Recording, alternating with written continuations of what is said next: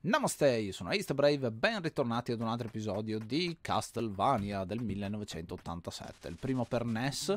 Vediamo di partire con questo, salviamo pure il progresso e vediamo di addentrarci. Bellissima la colonna sonora di questo gioco che eh, vedrò di presentarvi. Molti di... Ehm, quello, ciò che vedete non è esattamente quello che avreste dovuto, dovuto vedere sul NES, eh, ma ho messo un, um, un... A me piacciono molto questi filtri che modernizzano senza cambiare troppo, è un filtro HQ praticamente questo, quindi alta qualità.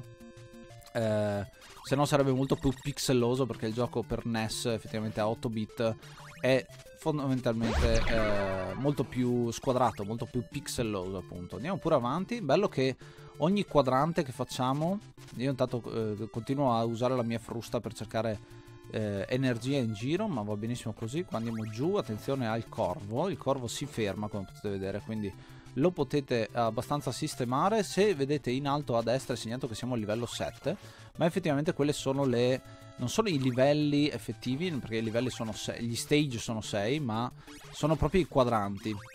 Quindi vedrete che cambierà eh, in realtà ogni livello è composto da diversi quadranti, questa è un po' una fregatura, bisogna stare attenti a beccare quello scheletro al momento giusto, questo me lo ricordavo, quindi vediamo pure avanti. Vedete che adesso ho superato la porta e dal livello 7 passeremo a livello 8.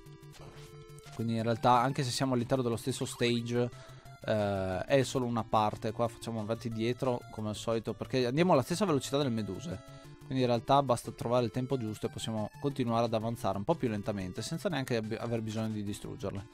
Perché effettivamente spawnano e la vostra frusta non arriva mai fin laggiù, quindi se avete fretta bisogna saltarle fondamentalmente oppure potete andare avanti in questa maniera. Quando ci sono più nemici contemporaneamente, anche questo è parte del design eh, fatta molto bene perché appunto vi mostra due tipi di nemici e poi ve li mostra insieme. Questo è un piccolo trucco eh, però ci siamo presi un sacco di legnate sulla scala, quindi succede anche questo. Qua siamo ancora all'interno della stessa sezione, però ottimo che ho preso la, la fermatempo, che è la mia arma preferita, continuerò a dirlo sempre. Questi sparano più volte contemporaneamente, quindi conviene usare il turbo. Che il turbo è un'opzione che c'era addirittura sul NES, per chi non lo sapesse, eh, ma non nella eh, sua forma originale. Qua facciamo pure un ricarico veloce, perché effettivamente non ho energia e passiamo intanto questi due e poi ce la caviamo con loro. Il, eh, la funzione turbo cosa vuol dire? Schiacciare tante volte a ripetizione lo stesso tasto. Eh, c'erano dei controller appositi, se non ve lo ricordate, c'erano dei controller proprio eh, turbo, la funzione turbo si attivava e in questo caso l'ho messa anche sul mio, in modo che posso tranquillamente tenere premuto un tasto e anziché tenerlo premuto effettivamente lo sto premendo tantissime volte rapidamente, quindi mi permette di fare attacchi sempre più vicini uno all'altro invece se dovessi utilizzare distruggermi il dito in questa maniera non sarei lo stesso così veloce. Quindi è un piccolo trucco ma secondo me fondamentale perché ad esempio quei due che sparano c'è un tempismo per poterle colpire ma usando la funzione turbo più o meno ci state. Qua usiamo questo per ucciderlo.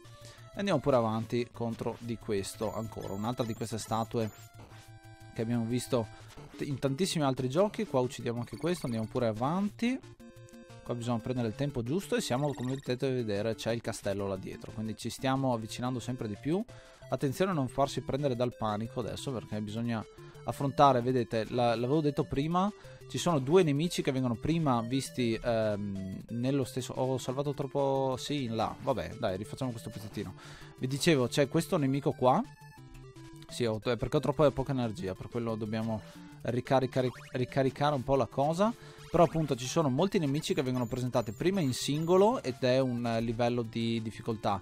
E poi vengono presentati contemporaneamente ed è questo grande, la grande forza di questo gioco effettivamente che eh, prima vengono affrontiamo i nemici uno alla volta poi viene aggiunto un grado di difficoltà che in questo caso sono le piattaforme e poi vengono aggiunti tutti e tre insieme.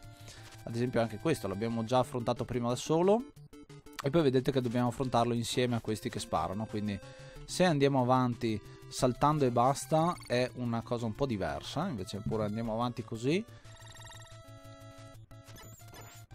E in questa maniera riesco a risolvere questa situazione.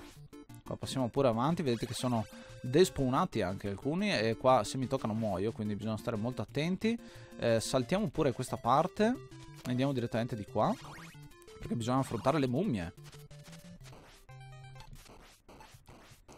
Non funziona il fermo tempo. Eh, infatti morirò tantissimo in questa situazione, mi sa.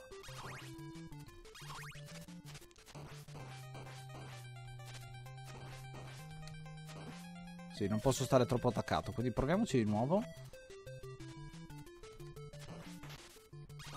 Ho bisogno di quello.